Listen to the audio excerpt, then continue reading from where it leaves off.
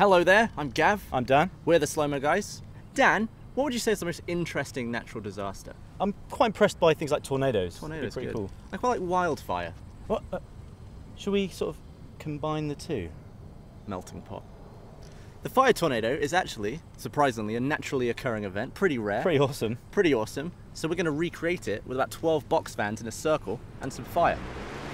Hello. Okay, so we've got about half an inch of kerosene in there. Just going to light it, step back, and let it build up, and then we'll turn the fans on. Okay. All right, I'm ready on uh, Phantom. Here we go. Yeah, that's lit. Okay, just let it build up.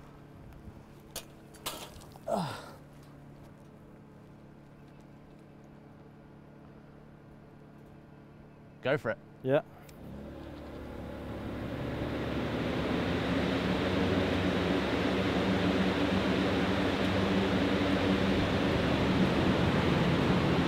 Oh, sweet.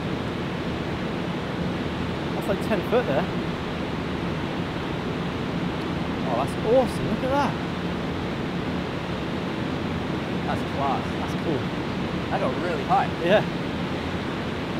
Feel it heat. Yeah, it's like, it wasn't hot enough. Look at that. It's literally a perfect spiral. Look at that. That's wicked.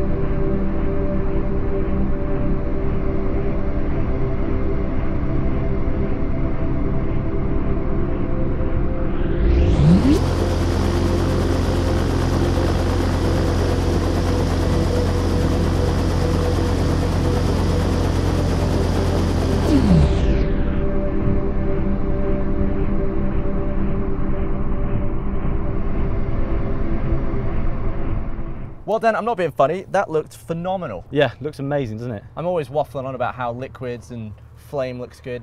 Spinning flame, even better. I think from now on, all flame should be spinning. Yeah.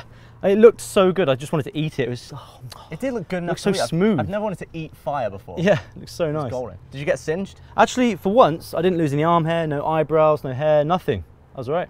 We played it Quite safe. happy with that. Feel free to follow us on Twitter, buy a shirt. Um, thank you very much for watching. Yeah. See you next time.